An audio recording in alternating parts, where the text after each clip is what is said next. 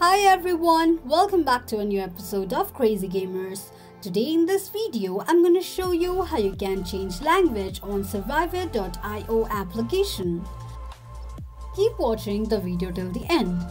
To change language on Survivor.io, firstly go ahead and launch open your Survivor.io application.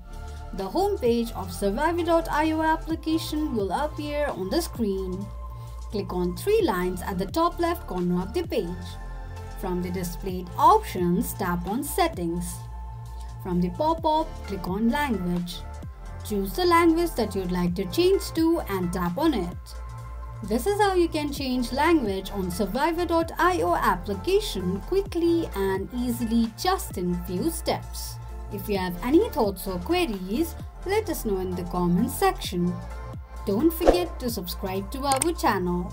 Also press the notification bell icon so that YouTube will notify you whenever we post a new video.